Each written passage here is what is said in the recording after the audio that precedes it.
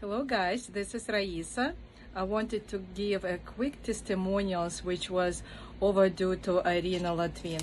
I wanted to share that I took the uh, sugar detox about two months ago and uh, I'm gladly happy I'm happy to share my results. My results were when I started the detox uh, my weight was 158 pounds and I ended up with 145 pounds. So I dropped 13 pounds over the course of one week. And also my waist was 35 inches. Now it is 33 inches.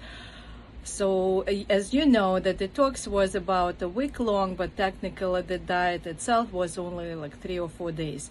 The rest of the time was a mental preparation, meditation, and education on what kind of food to eat, uh, what to do, how much water to drink, and so on. Uh, what was difficult about that challenge is probably to realize uh, how much sugar I was uh, eating without even understanding that I was eating. I always considered myself not sugar eater, but during that uh, program, I realized that um, like here and there, I grab a lot of uh, stuff and uh, I eat, and it's like, ooh, it's uh, a lot of sugar gets into my body. And another difficult uh, challenge was for me that I am a coffee drinker, and during that detox program, we uh, we demanded not to drink coffee.